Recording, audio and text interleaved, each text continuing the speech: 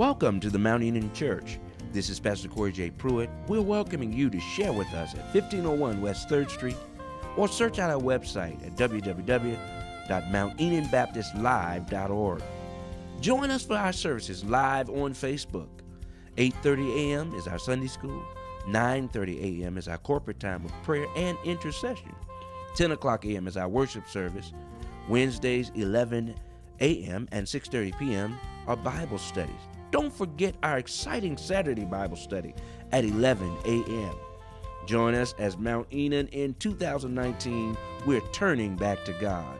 We're turning back our focus, our fellowship, and our fruitfulness. They're all tied to God. We look forward to having you and your family join us here. We invite you to join us every day on the prayer line at 7 a.m. and 9 p.m. Just dial 937 265 4344, extension 101. Then enter code 502 801 253 pound.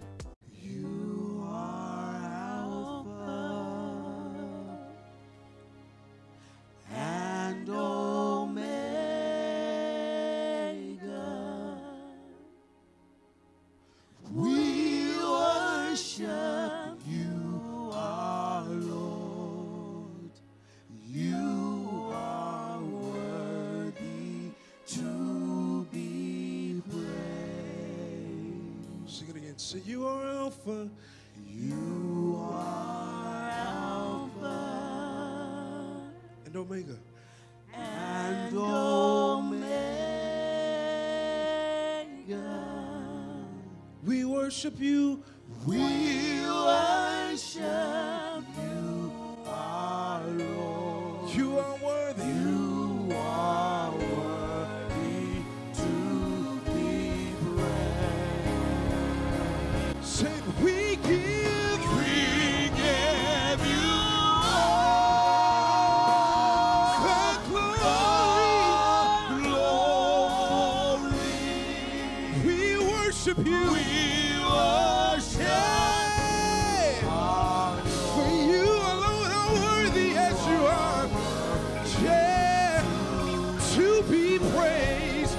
on, church, help me sing. Say, we give you. give you the glory. Yes, we do. We worship you today. We worship you in the beauty of holiness. For you are worthy. For you alone are worthy. Yeah. Come on, church, help me say,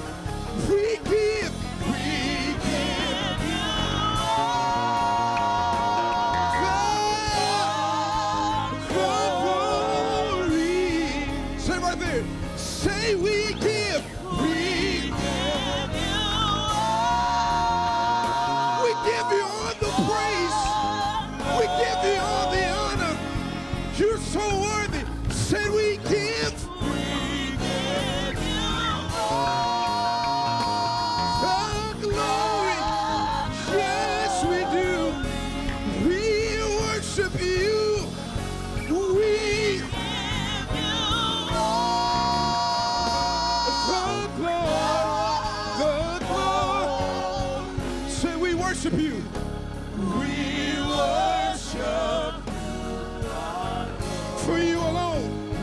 Church. I'm gonna leave you alone, but let's lift it. Yeah. Now don't say nothing. Just lift up your voice. I have to provide some elements to you so that you'll have an understanding of what's going on in this text. Jesus has been confronted by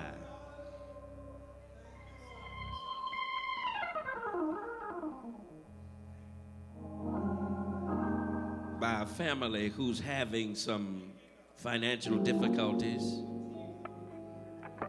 In fact, these these difficulties bring about some questions, and you know how it is when loved ones die, how the portions are to be, come on, uh, shared and to be dispersed. Come on, you know what I mean? And Jesus is now expressing a parable because this Pharisee, this man, comes in the wrong spirit, trying to get him to do something. Come on. Uh, that is not uh, necessarily correct. And he goes on at verse 16 and says, He spake a parable unto them, saying, The ground of a certain rich man brought forth plentifully. And he thought within himself, saying, What shall I do? Because I have no room where to bestow my fruits. And he said, This is what I'm going to do. I'm going to pull down my barns and build greater barns, and there will I bestow all my fruits and my goods. And I will say to my soul, Soul, thou hast much goods laid up for many years. Take thine rest or ease, eat, drink, and be merry. But God said, but God said, God said unto him, Thou fool, this night thy soul shall be required of thee. Then who shall those things be which thou hast provided? So is he that layeth up treasure for himself and is not rich toward God.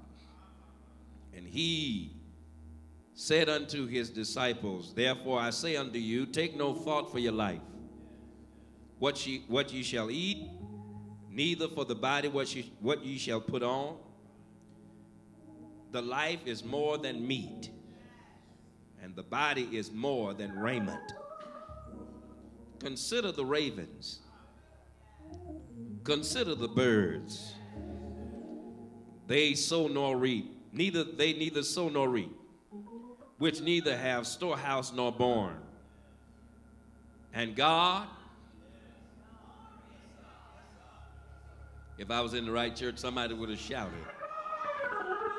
And God feeds them. How much more are you better than the fowls? I want to talk just for a few moments, if you allow me, losing sight of God. Losing sight of God.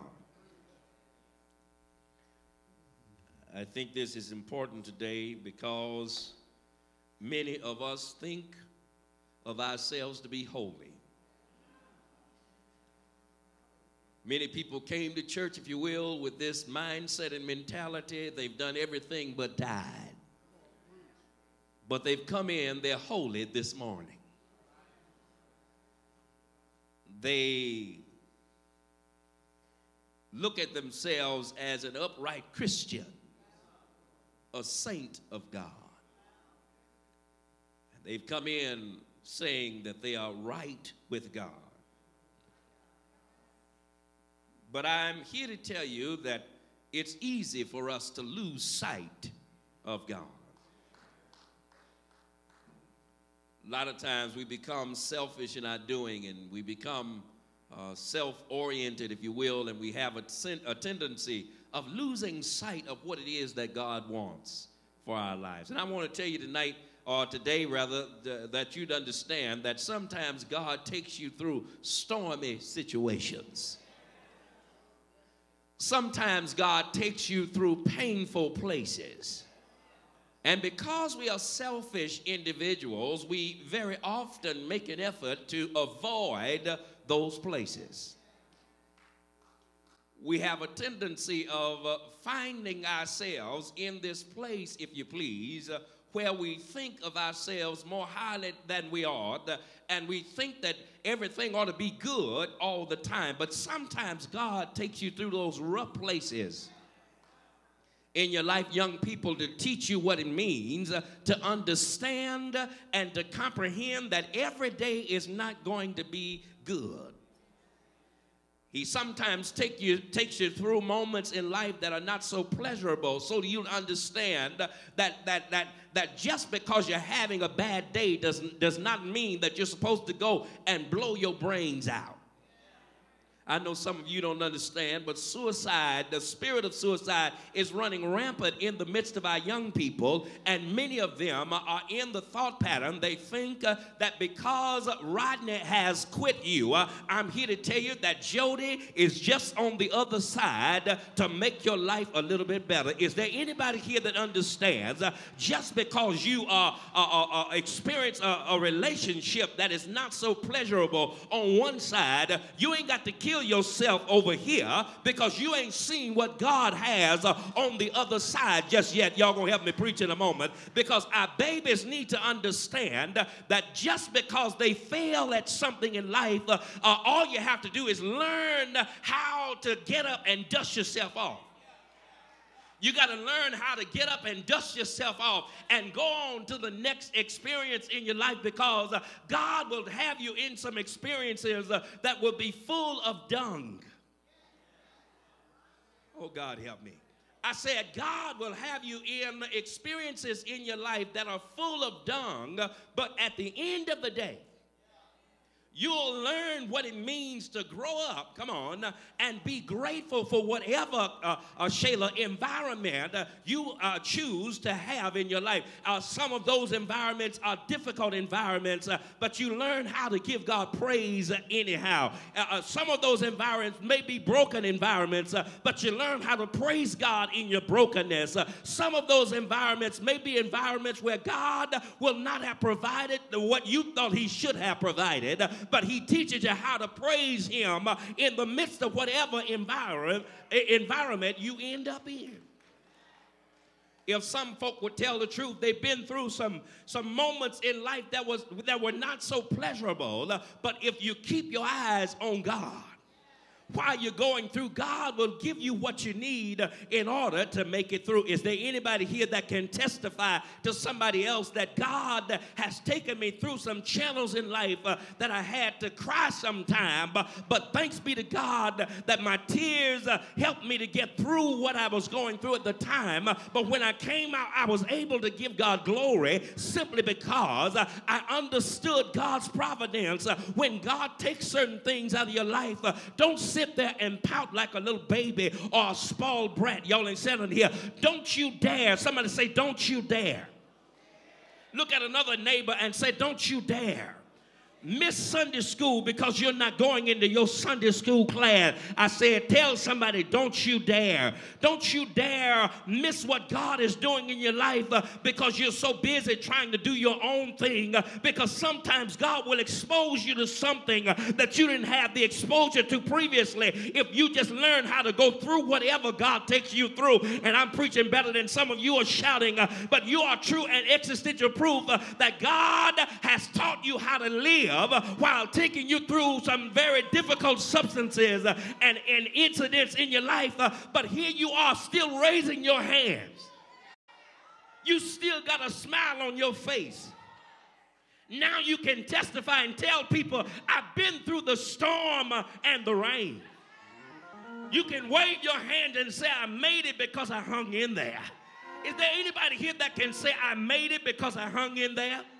The real truth is, if I would have quit when I wanted to, uh, I never would have got where I am. but I kept on praising God with my hands lifted up uh, and tears streaming down my face. Uh, sometime I was broke. Uh, sometime I was busted. Uh, sometimes I was disgusted. but thanks be to God that His grace and His mercy Grace got on one side uh, and mercy got on the other. And some kind of way, He propped me up uh, through every storm that I had to encounter. Is there anybody here that can testify that it was grace that brought me safe thus far? And I'm going to help, I'm going to have grace to take me on further. I said it's easy to lose sight of God especially when you're going through.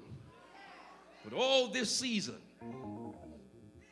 I said this season of income tax, this season of financial increase has some of us so off balance. You don't come to church on Sunday till you get back broke. You haven't paid any tithes. You got all the new Jordans. You got you a new wig. got you some new clothes. And it's so easy to lose sight of God, especially when God sends increase.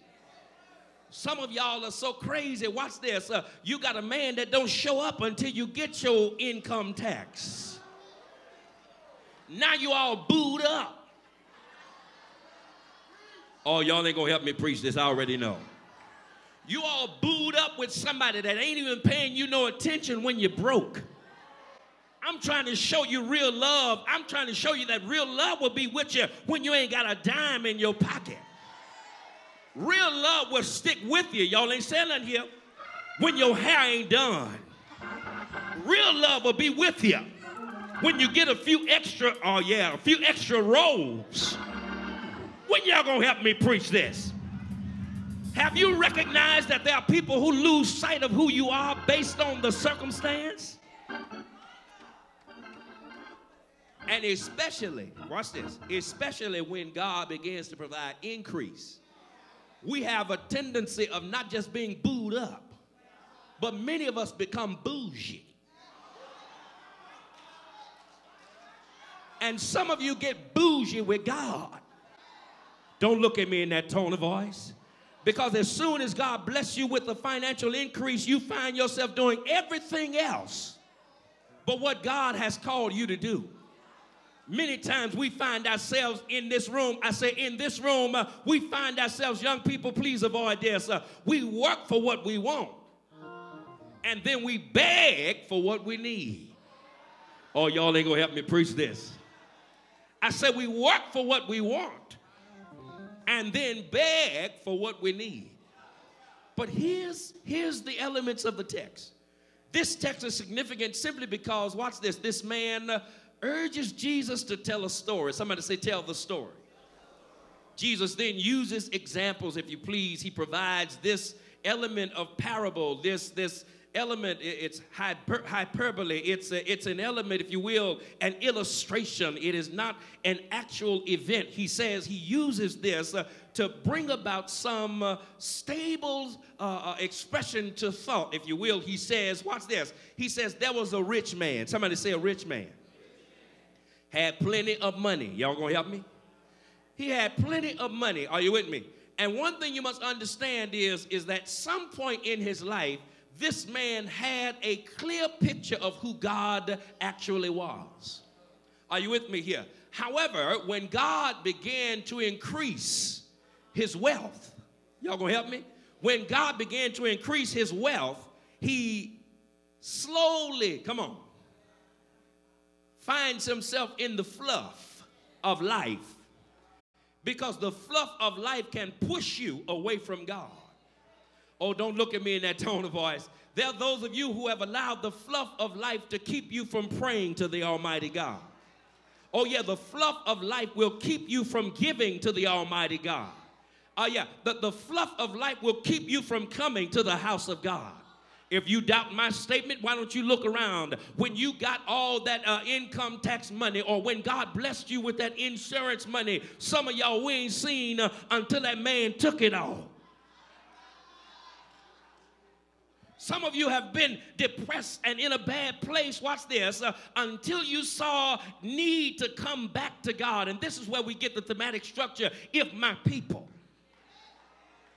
I know, I know. I know some of you are too holy to be in such a place. I mean, you know, Pastor, uh, uh, you're not talking about me because I've been saved all day long. You lying and the truth ain't in you. You may have been saved, but your actions have not been perfect. Is there anybody here can testify that you had to ask for God's grace and His mercy just this morning? You were on the verge of something, and I know some of y'all ain't gonna shout with me, and that's why I'm talking to you. I'm talking right to you with your nasty self because you don't understand that God is calling for you and your soul to come back to Him because you've allowed the fluff of life not to even make you realize that you need to beg somebody pardon.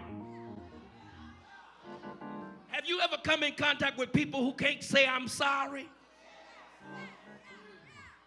I'm talking about they did something to Lanaya. Y'all ain't saying nothing here.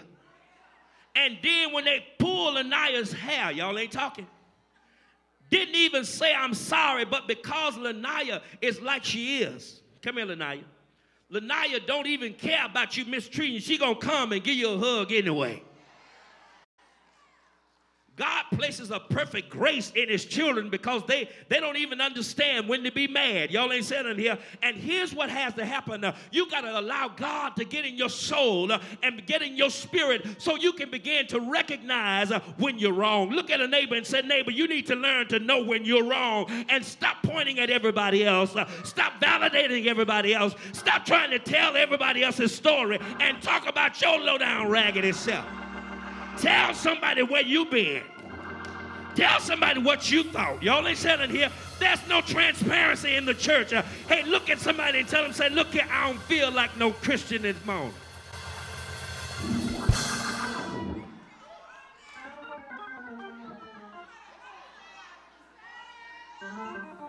Sometimes you feel like just waving your hand in the air. Waving like you just don't. Y'all so holy, y'all don't know what I'm talking about. Sometimes you have to ask God to refill my cup, Lord. Fill it up, Lord. I know some of y'all are so full, you don't need that. See, you have to ask Him to revive my soul again. Is there anybody here that needs revival in your soul? If you do this right now, if you do this, God will send a, He'll send a shot to you and He'll revive your soul. Watch this. If you just tell Him, Lord, I need you. Lord, I want you. Lord, I need your help. Lord, I need restoration. Lord, I need your power. Lord, I need your strength. Is there anybody here that can tell God, I need you right? Hey, look at a neighbor and say, neighbor, I ain't too bougie to tell God I need him because I don't want to lose the joy of my salvation. I want God to open a door that the devil in hell cannot stop. I want God to open a door that the enemy said I'd never walk through. Look at somebody if you can and tell them, say, I got him in my soul.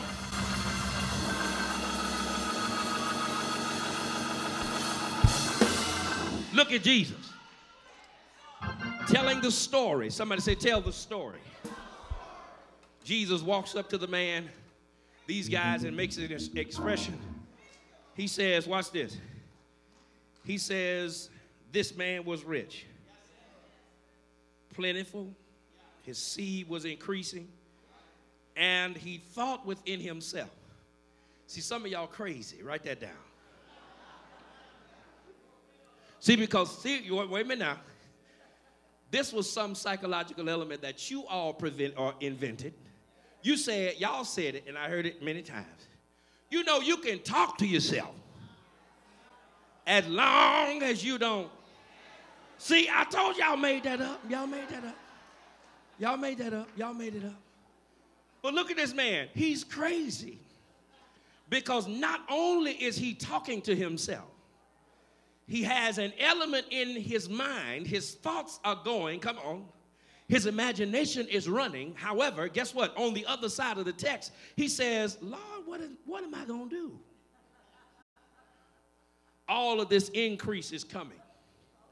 Are you with me? Everything is happening so fast. I just won the lottery. See, that's the reason why I tell y'all if you win the lottery, call me first. Yeah, I'm telling you, call, call me first. That way I can help you. To come to some of these decisions so you won't look crazy. You understand? So what happens is he he is currently, watch this, in his mind having a conversation within. Is that what your Bible says? He says, What shall I do? Which leads me to the point that he is actually, come on, losing sight of God brings us into this mental battle. Watch this, number one, point number one, which creates doubtful debates. These doubtful debates are mental. It's in your mind, it's in your head. Lord, what am I going to do? How am I going to? What is going to so and so and thus and so. He's in a doubtful debate. He says, What shall I do? And his quest to find the solution for his added riches actually shows where his main interests lie. Take a moment because uh, he's selfish. Come on. And, and he's forgotten about, watch this, the service of the Lord. Because at some point you're going to discover that, that he's basically still using this personal pronoun, what am I going to do? Rather than who can I help? Or who can I assist in the process of living life? Does that make sense? With this added riches or these added riches that God has blessed me with, God has provided greater resource, and here I am trying to find a way, come on, uh, to put it up someplace. What you sound like? I mean, you've come in contact with people who are who are in dire need of assistance. Sometimes God has placed a wealth of wisdom in some of you, and y'all don't even open your mouth to say a mumbling word. You see people sinking and going down the wrong road, and instead of you tell them, look here, baby, you are going the wrong way. You keeping all that knowledge to yourself. Doubtful debates. Here it is. Let's take a moment to analyze this theological side of this. This man's progress has caused them to lose sight of God and the purpose, his purpose, and watch this, he has literally become out of touch with humility. He becomes so engulfed in self that he fails to see need. And this dispute is equivalent to what we've seen down through the years. Uh, the executors of accounts and things of that nature of deceased failed to keep their word. Ah! I know y'all don't want to talk about this part because some of you are executors of different accounts of deceased individuals. And you haven't done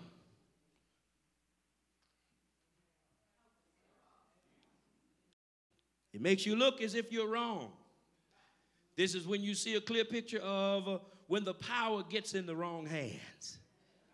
Have you ever come in contact with authority that gets in the wrong hands? You'd be like, Lord, why did you leave what you call in charge? Because one thing is, is that many people are not fair with themselves. They're angry, they're mad. Got a grudge, holding a grudge, they have a chip on their shoulders. But I'm here to tell you that when the power gets in the wrong hands, chaos is inevitable. Crooked is then created. Are you with me here? Confusion is, is constant. Can you say amen? When the power gets in the wrong hands, you've seen it before. Batman!